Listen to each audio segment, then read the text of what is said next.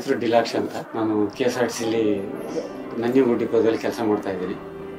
ನಾನು ಕೆಲಸಕ್ಕೆ ಹೋಗಿ ಸಂಜೆ ಬರುವ ಹೊತ್ತಿಗೆ ಆಗಲೇ ನಮ್ಮ ಮಗಳು ಹರಿಪ್ರಿಯ ಹಾವು ಹಾವು ಕಚ್ಚಿ ಅಷ್ಟೊತ್ತಿಗೆ ನಮ್ಮ ಮಿಸಸ್ಸು ಎಲ್ಲ ಒಂದು ರೆಫರ್ ಮಾಡಿ ಅವರು ನಾನು ಫೋನ್ ಮುಖಾಂತರ ಮಾತಾಡಿ, ಅಪೋಲೋ ಹಾಸ್ಪಿಟ್ಲ್ ಒಳ್ಳೇದಿದೆ, ಅಲ್ಲಿ ಕರ್ಕೊಂಡು ಹೋಗಿ ಅಂತ ಹೇಳಿದೆ.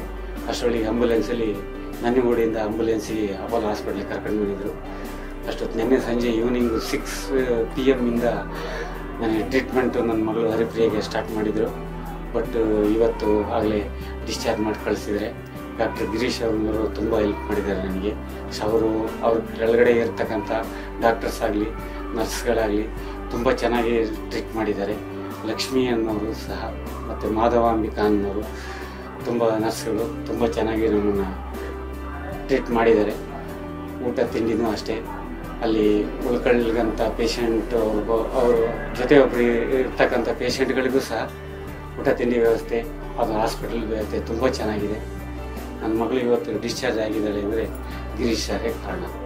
Apollo hospital this is number one India ಆಗಲಿ ಅಂತ ನನಗೆ ಡೈಲಿ ಕ್ರಿಸ್ಮಸ್ ಡೆಕೋರೇಷನ್ನು ಮಾಡಿಸಿದ್ದಾರೆ. ತುಂಬ ಚೆನ್ನಾಗಿ ಮಾಡಿಸಿದ್ದಾರೆ ಸಿಬ್ಬಂದಿ ವರ್ಗದವರು. ಅವರಿಗೂ ನನ್ನ ಕೃತಜ್ಞತೆಗಳು Christmas. Christmas.